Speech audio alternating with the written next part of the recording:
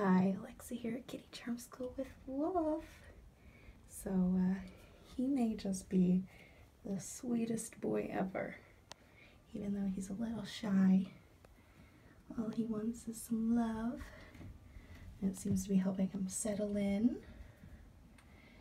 I notice he's doing a good bit of shedding, so I've got some brushes to try to see if he likes any of these.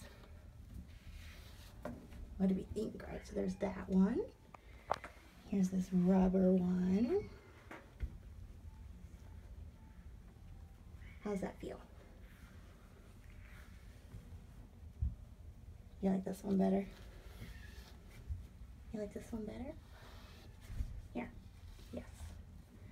You gonna brush yourself? Yeah. Doing a very good job. Very good job.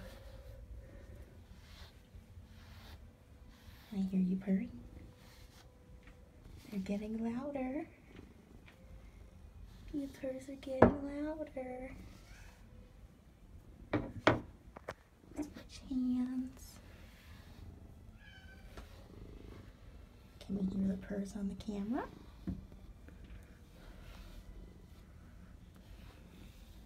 You're a good boy.